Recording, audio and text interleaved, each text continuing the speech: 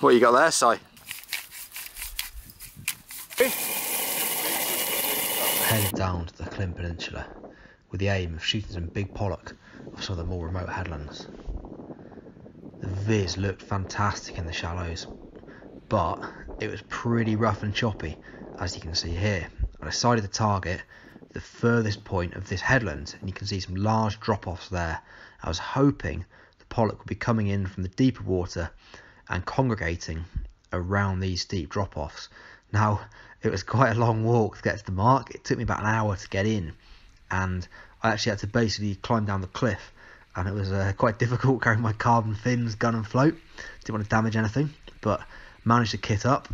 Getting the fins on was uh, particularly awkward on this rock ledge with um, quite a, a, fair swell actually. And it wasn't the uh, the easiest thing to do. Definitely don't want to break these 300 quid carbon fins. It would not be a, a good day if you did that. Now the water close in was pretty choppy.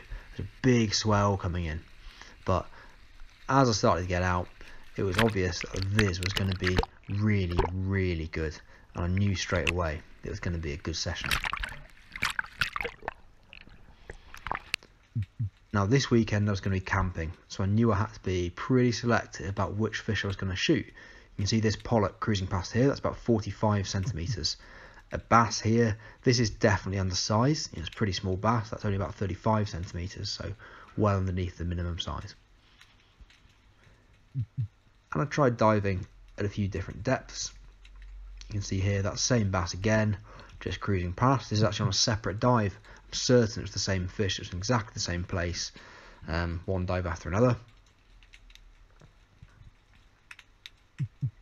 And I tried a few stalks as well. I, I normally spearfish a sort of more static ambush method, but this stalking method can be quite effective for bass. And you can see as I creep through the kelp here, a bass just comes head on straight at me. It's stealthy enough that often comes straight towards you. See here it turns and I miss. Now it's quite difficult to shoot on the move.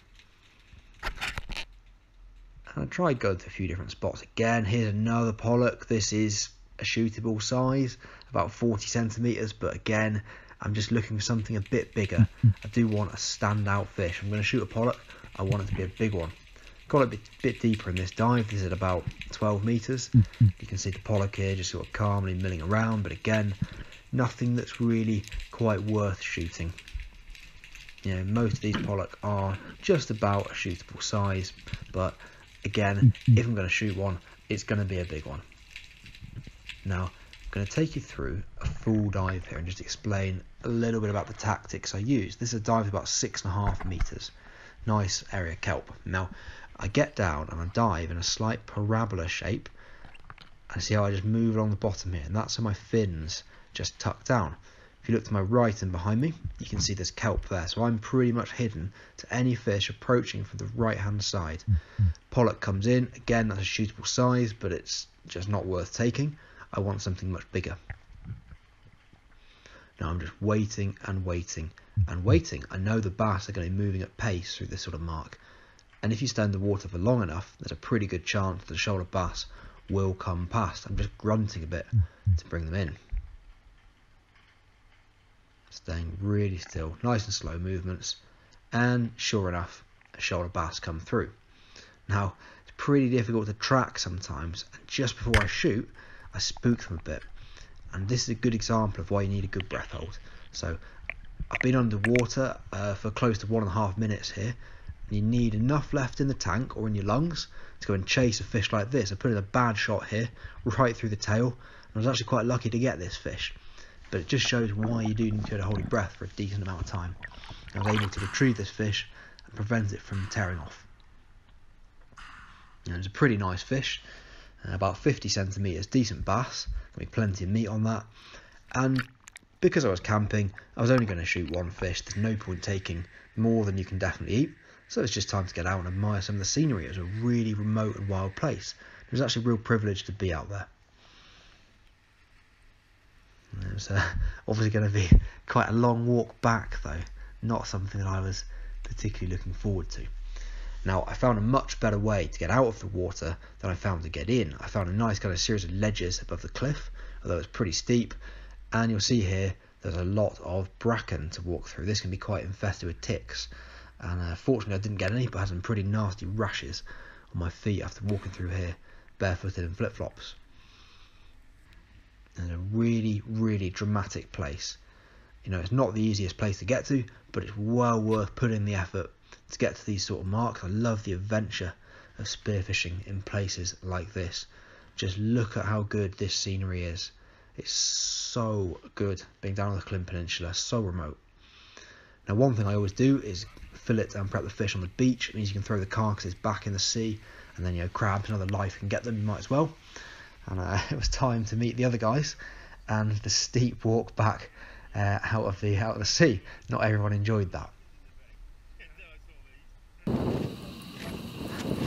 What you got there, Si? A little bit of moss. Si cider mullet. Very nice.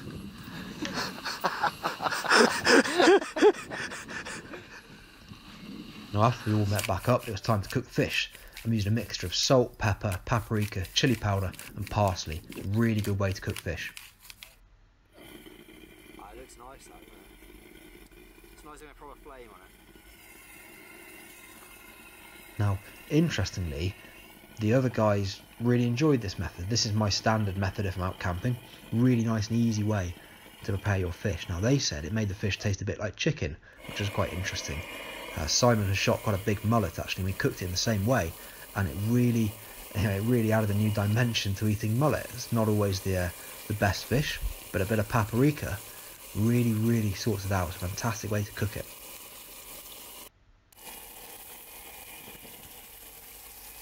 James, one of the other guys on the trip, he's uh, worked in a lot of quite good restaurants. He's a trained chef, and we let him do the honours of cooking. He uses quite a lot of oil here. See how much he's got in, and this seems to cook the fish much more evenly. So that's a good tip.